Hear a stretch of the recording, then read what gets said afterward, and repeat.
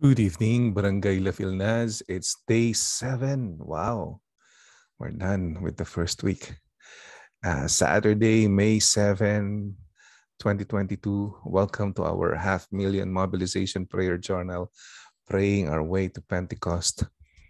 Uh, for tonight, our scripture insights were written by Ken, Staff, Ken Stanford, District Superintendent, New England Church of the Nazarene. So, let's start.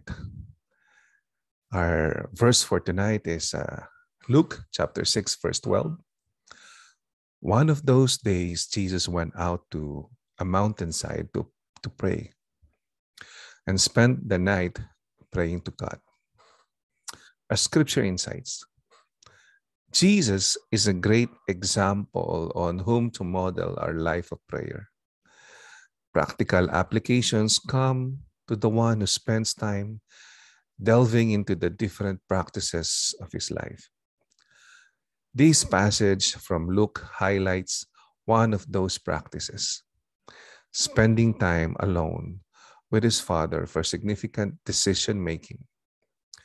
Indeed, many of the gospel writers mention that Jesus would often spend time in lonely places to pray. There are many other times besides decision making when Jesus chose solitude in prayer. Those times include relationship building with his Father, quiet times of uh, reflection, strengthening for upcoming challenges, and the renewing of passion and focus.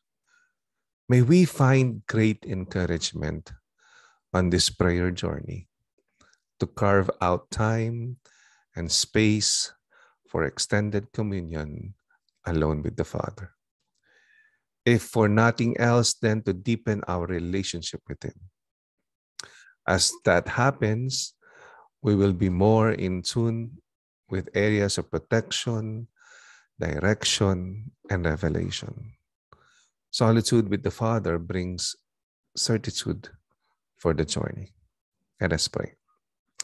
Lord Jesus, teach me into to create time and space so that I may experience your grace and become more like you in this your harvest field, Lord God.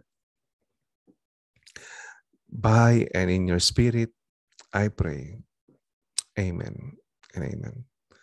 For our prayer journal reflections, what is the Holy Spirit saying to you?